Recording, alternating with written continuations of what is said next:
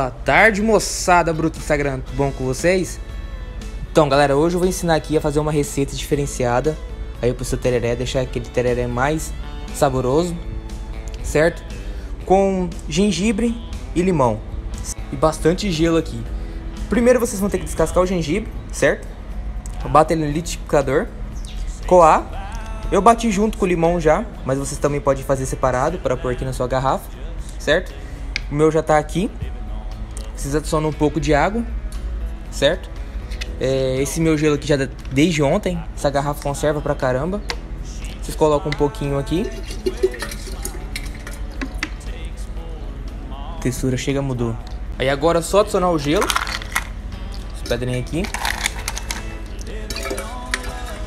Quem quiser comprar essa garrafa aqui, ó, a gente personaliza com a sua logo, certo? Uma garrafa muito boa, Conserva aí no máximo 3 dias. Tem gelo aqui ainda, vocês viram. De ontem ainda, certo? Garrafa muito, muito boa mesmo. Tô aqui com minha cuia redonda.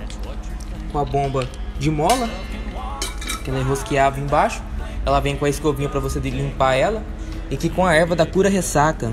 Da predileta. Você também pode estar tá, tá adicionando outra erva aí, beleza, galera? Então essa aqui é a receita aqui. Quem tiver alguma dúvida, alguma sugestão, comenta aí embaixo.